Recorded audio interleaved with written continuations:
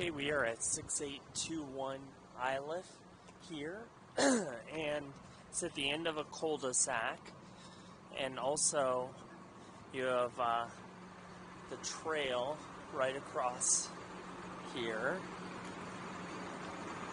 So there's also a little trail over here.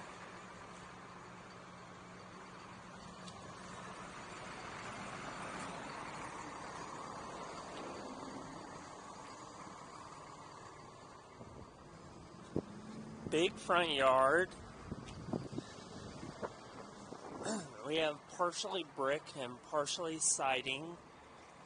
A lot of vegetation that just with a little bit of care could look pretty nice. Just tear a bit of it out. when you first walk in, you have these gorgeous hardwood floors. They look like they're hickory, hard to say for sure.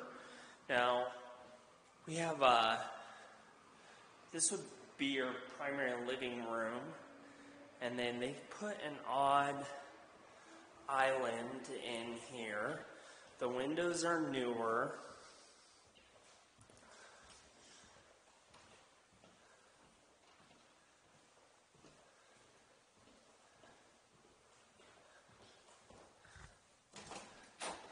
We have a that might have been a coat closet once, but it's a pantry type closet or linen closet now. Linen closet there. I have linoleum in here. Old green tub. Got two spare bedrooms. The hardwood floors continue into the bedrooms.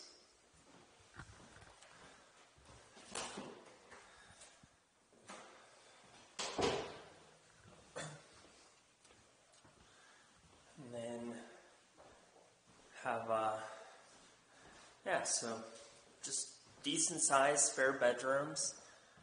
Here's the master bedroom, standard closet size there, and then the ensuite bathroom. Tiles a little rough in here, as with the shower. But they did a great job cleaning it up compared to what it was. Um, it's amazing.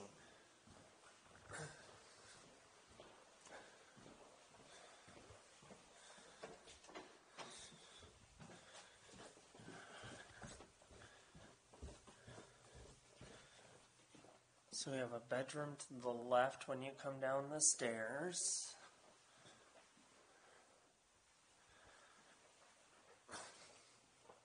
Then we have big living space. Here's the bathroom. This is access to the utilities there. Decent sized bathroom. This bathroom is actually pretty nice. You have two vanities, decent tile work.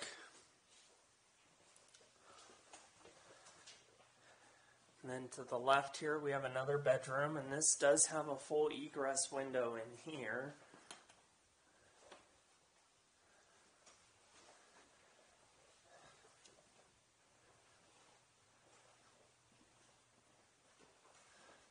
So this is the, so what we found is these cinder blocks up there, maybe at one point the house was lifted. It's really hard to say why those are there up top.